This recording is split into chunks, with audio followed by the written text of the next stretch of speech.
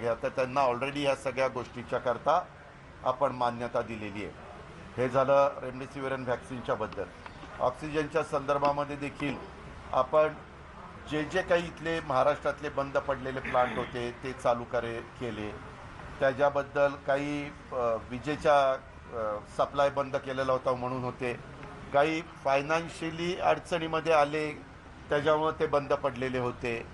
ह्या सगळ्या गोष्टी करत असताना वसंतदादा शुगर इन्स्टिट्यूटमध्ये पवारसाहेबांनी सूचना केली की बाबा साखर कारखाने त्या साखर कारखान्यामध्ये देखील आपल्याला ऑक्सिजन तयार करता येतो आहे का आणि तो सिलेंडरमध्ये भरता येतो आहे का ते पहा. आणि तशा पद्धतीनं तोही प्रयत्न करा. तर व्ही एस आयचे शिवाजीराव देशमुखांना सध्या सूचना दिलेल्या आहेत आणि तशा प्रकारे तोही प्रयत्न त्या ठिकाणी चाललेला आहे.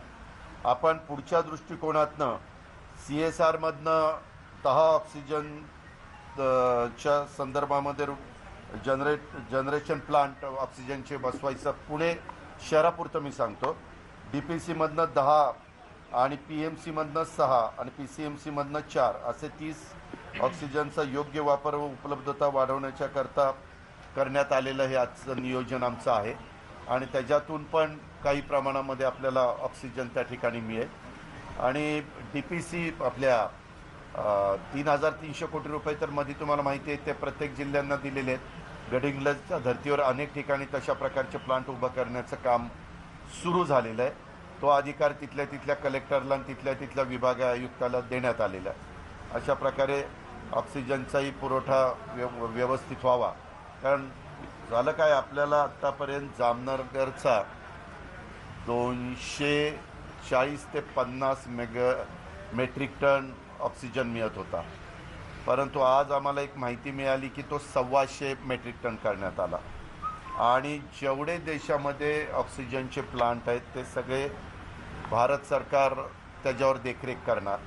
कारण आपण पाहताय महाराष्ट्राला ऑक्सिजनची गरज आहे दिल्लीला ऑक्सिजनची गरज आहे म्हणजे त्या तिथल्या नागरिकांना पेशंटला उत्तर प्रदेशला आहे राजस्थानला आहे अशा अनेक राज्यातून ती मागणी वाढली. आणि त्याच्यामुळं हे सगळं भारत सरकारने स्वतःच्या आधिपत्याखाली घेतलेलं आहे.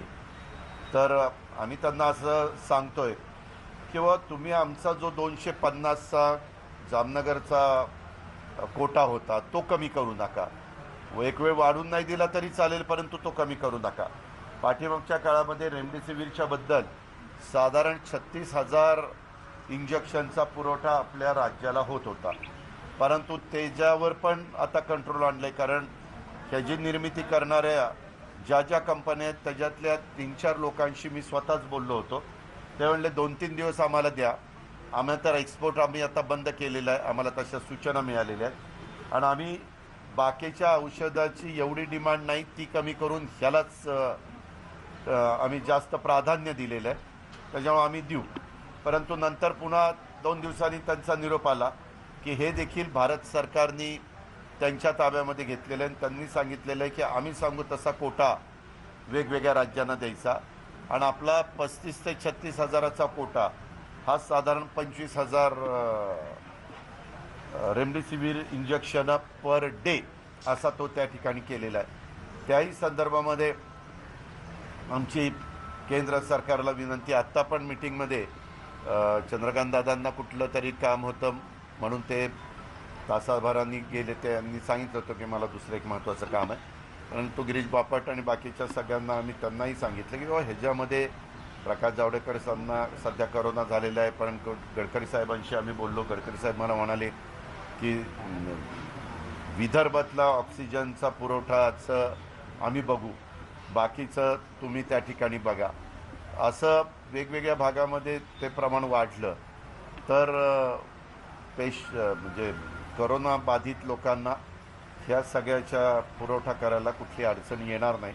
आणि तशा प्रकारचं नियोजन सगळे प्रशासन करताय सगळे पदाधिकारी करतायत अधिकारी करतायत ते काम आमचं चालू. दादा तुम्ही स्वतः अर्थमंत्री आहात. येत्या एक तारखेपासून मोफत लस जी आहे त्याच्या बाबतीत काही घोषणा- नियोजन कसं मोफतच्या संदर्भामध्ये एक मेला स्वतः राज्याचे प्रमुख त्याबद्दलची भूमिका राज्य सरकारची काय आहे ते जाहीर करतील. पण लस मिळणार कुठून एवढे? हा प्रॉब्लेम ते आम्ही